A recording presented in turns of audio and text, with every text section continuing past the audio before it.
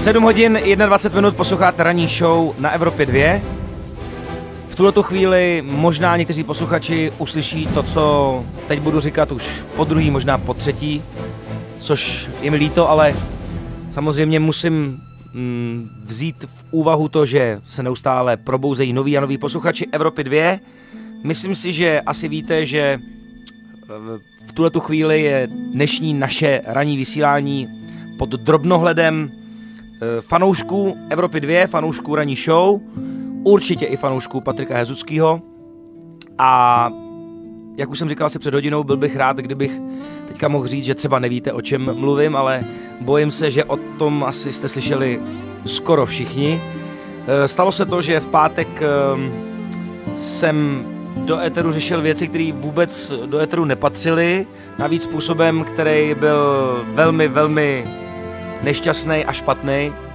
A způsobil jsem tím pádem jednak to, že páteční vysílání stálo za nic, že to řeknu slušně. A samozřejmě jsem naštval svého kamaráda a prostě mega dlouholetýho kolegu, se kterým jsem tady prožil strašně moc krásných věcí a e, vždycky jsme si mysleli, že by jsme měli pokračovat prakticky do nekonečna. Je tady teďka situace, která je hojně medializovaná. Já v tuto chvíli můžu říct to, co jsem už říkal, a to chci zopakovat, že to, co se v pátek stalo, bylo jednoznačně moje pochybení a byla to moje vina. Omlouvám se strašně moc Patrikovi, omlouvám se posluchačům Evropy 2, že to museli poslouchat a snášet. E, objevily se věty, že by bylo fajn, kdyby v pátek to vysílání někdo přerušil, což věřte mi, že teďka bych si to přál taky, kdyby tady něco takového pátek právě proběhlo. Nestalo se, e, byla to prostě moje velká chyba, kterou už samozřejmě nemůžu vzít zpátky, to páteční vysílání nemůžu vzít zpátky, prostě nejde to a je mi to strašně moc líto.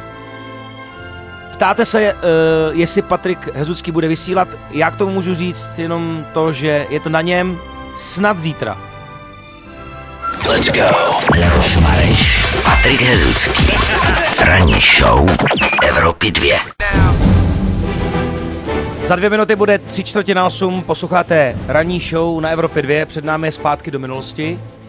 Pokud jste se právě teďka naladili na dnešní vysílání s očekáváním, co se bude dít a kdo bude vysílat, tak uh, pro nás, pro oba, jak pro Lucku, tak pro mě samozřejmě zpráva uh, nejdůležitější je, že Patrik tady s náma není, bude snad zítra, uvidíme, je to na něm.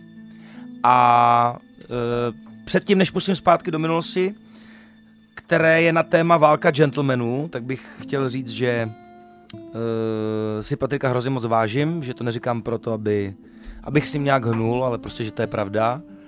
A že mi je neskonale líto, nebo neskutečně líto, toho, co se prostě stalo v pátek, měli jsme tady uh, rozepři, vlastně velmi krátkou, velmi bouřlivou, kolem 6. hodiny a uh, já jsem tu diskuzi neustál a choval jsem se zhrzeně a hlavně jsem tím obtěžoval lidi do vysílání, čím jsem jednak způsobil to, že páteční vysílání jsem doslova zdevastoval. Uh, asi možná bohužel na díl, než bych uh, si vůbec dokázal v tu chvíli představit.